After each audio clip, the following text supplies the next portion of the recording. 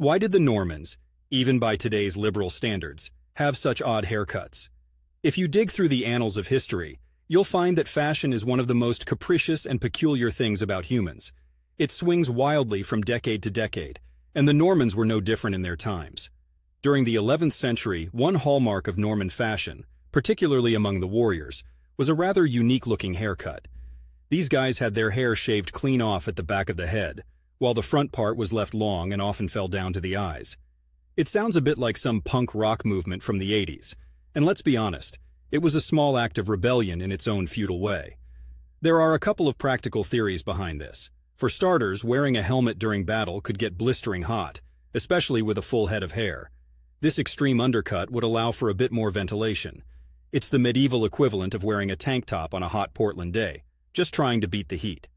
Secondly, this distinctive style set the Normans apart from the Anglo-Saxons, whom they were trying to conquer.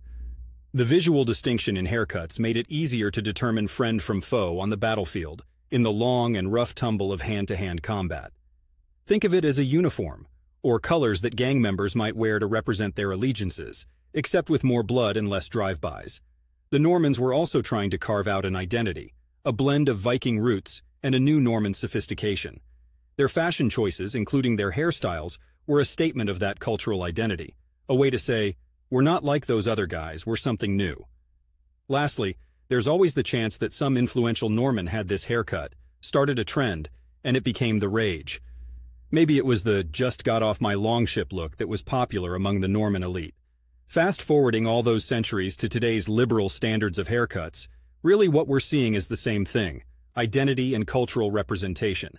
You've got your hipsters in the coffee shops of Portland rocking the I definitely don't have a 9 to 5 inches appearance, and on the other side of the spectrum, you've got the slicked back, I may own a yacht Wall Street look. In the end, the Normans' unique hairstyle was just another blip in the ever-changing world of fashion, a response to their environment, a mark of their identity, and perhaps a bit of old-world swagger we can all appreciate from the comfort of our 21 Saint Century lives. So next time you're walking down the streets of Portland, and you see someone with a haircut that should probably come with its own instruction manual, remember the Normans. They started this trend of odd haircuts. And if you're considering a Norman cut for your next bold move, just be prepared to explain to everyone that it's not just a haircut, it's history.